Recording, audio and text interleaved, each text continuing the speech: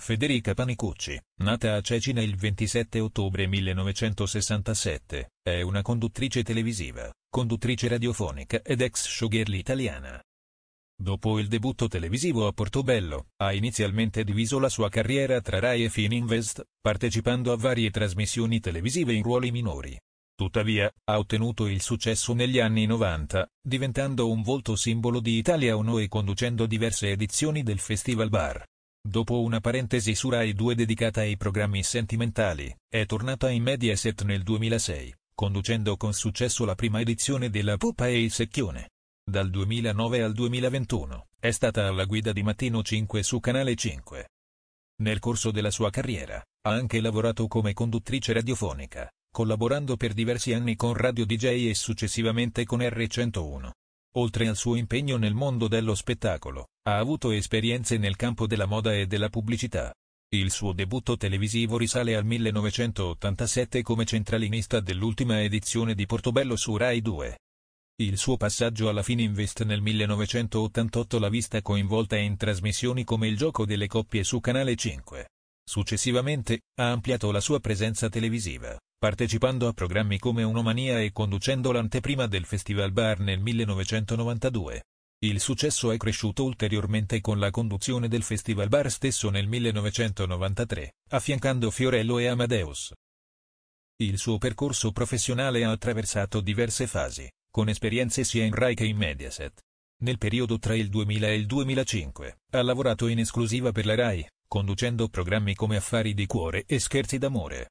Nel 2006, è tornata in Mediaset, conducendo varietà come Comedy Club e diventando volto di punta di La Pupa e Il Secchione. Dal 2010 al 2020, ha condotto Mattino 5 e Domenica 5 su Canale 5. Successivamente, ha affiancato Francesco Vecchi in Mattino 5 News dal 2021. Nel 2023, è tornata a condurre un reality show, Back to School, su Italia 1. Nel suo percorso privato, dal 1995 al 2015 è stata legata a Mario Fargetta, con cui ha avuto due figli. Dal 2016 è legata a Marco Bacini. La salute di Federica Panicucci è stata oggetto di attenta osservazione da parte dei tifosi e del pubblico. Nel 2017, ha affrontato non uno, ma ben tre interventi di bypass, una procedura eseguita per ripristinare il flusso sanguigno al cuore.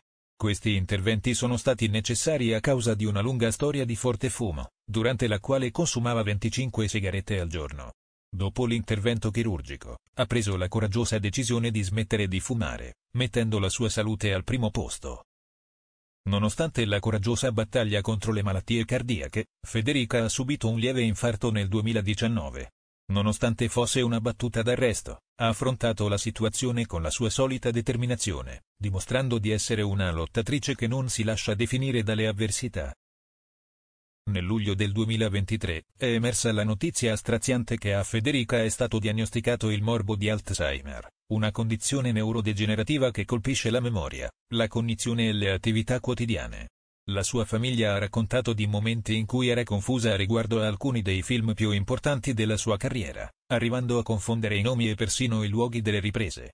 Questa realtà è stata dolorosa sia per Federica che per i suoi cari, poiché la malattia ha gradualmente preso il sopravvento sui suoi ricordi. Nonostante le sfide legate al declino della sua salute, Federica ha continuato a ricevere amore e sostegno da parte di familiari, amici e fan. La sua morte è avvenuta il 23 gennaio 2024 in un ospedale senza nome, causata da un attacco di cuore, un destino crudele che ha richiamato le battaglie che ha affrontato durante la sua vita. Anche se la sua presenza fisica ci ha lasciato, il suo spirito, il suo talento e il suo impatto sul mondo continueranno a vivere. La straordinaria carriera di Federica ha lasciato un segno indelebile nell'industria dell'intrattenimento. Il suo contributo al cinema è stato riconosciuto da colleghi e critici, consolidando il suo status di una delle attrici più talentuose e influenti della sua generazione. Oltre ai premi e ai successi, l'eredità di Federica risiede nella sua capacità di affascinare il pubblico con performance accattivanti e nella sua volontà di assumere ruoli unici e stimolanti. La sua dedizione all'arte, l'autenticità e la volontà di superare i limiti l'hanno resa fonte di ispirazione per aspiranti attori e artisti di tutto il mondo. Mentre diciamo addio a questa donna straordinaria, ricordiamo Federica per il suo immenso talento, la sua presenza magnetica sullo schermo e l'ispirazione che ha fornito a innumerevoli persone in tutto il mondo. Possa il suo ricordo vivere per sempre.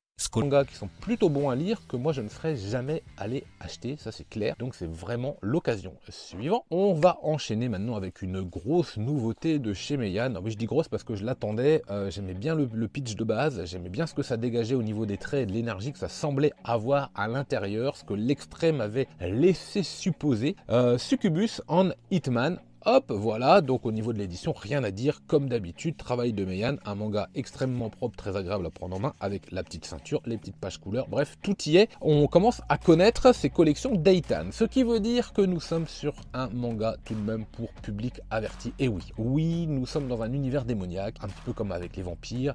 Ça veut dire que le rapport au corps, le rapport charnel peut être très présent par moment, même si c'est pas gratuit, même si c'est pas exagéré dans le titre, que ça arrive de façon assez logique par rapport aux situations proposées et à l'ambiance, à l'atmosphère que, propose le manga, ça tient la route. Il n'y a pas une surenchère comme ça de scènes gratuites, donc ça marche bien. Allez, on en parle, Succubus et Hitman, ça va nous parler. Alors le prénom du gars, attendez, que je dise pas de bêtises, il va s'agir du personnage de Shoya Gamo. Enfin, presque. En vérité, il va s'agir du corps de Shoya Gamo, à l'intérieur duquel va être transféré un autre, une autre personne qui a passé un pacte avec son démon. Il va falloir lui qu'il récupère des, corps, qu'il euh, euh, remplisse des contrats et pour que ce démon-là puisse ensuite ingérer les âmes euh, bah, des, cibles. Il a intégré le corps de Shoya Gamo. Pourquoi? Parce que Shoya Gamo lui-même est mort et a passé un pacte avec ce démon aussi. Je ne vous dirai pas quoi, je vous laisse découvrir. En tout cas, on revient sur notre premier personnage qui a intégré le corps vide. Il est là pour remplir une vengeance. Et donc, à chaque fois qu'il va remplir son contrat, qu'il va réaliser une mission, il aura accès, on va lui donner accès à des informations pour pouvoir retrouver quatre personnes que lui veut absolument tuer. Voilà, c'est un solde, c'est un killer, une sorte d'agent de la mort, et il est là pour récupérer les âmes humaines et hop, les offrir à son démon, à sa succube. C'est extrêmement dynamique, mais vraiment très contrasté au niveau des traits, des scènes euh, d'action, de combat. C'est bien sûr dans un milieu plutôt malfaisant, de mafieux, de violeurs, tueurs dans la nuit, donc c'est très contrasté au niveau des traits et de l'ambiance. Ça me fait un petit peu rappeler d'ailleurs à ce niveau-là, niveau du contraste, hein, j'entends, au 9 août tu me dévoreras, j'ai trouvé qu'il y a quelques similitudes là dans, le jeu de couleurs et ça marche plutôt bien, c'est dynamique. Là on est vraiment sur un manga popcorn, faut pas se prendre la tête, mais c'est pas non plus inintelligent et complètement idiot, c'est pas vrai du tout, du tout, du tout, le scénario tient bien la route, vous êtes sur une histoire de vengeance, donc c'est clair, le personnage qui veut se venger ne pense qu'à ça, ou presque, sauf que voilà, euh, vous pensez bien que s'il a intégré le corps d'un lycéen, il va bien falloir aussi qu'il accepte toutes les contraintes liées à la vie de lycéen, ce qui peut amener quelques petites situations comiques ou paradoxales avec son propre objectif. Je vous laisse, moi, deviner, je vous laisse lire, découvrir surtout euh, ce qui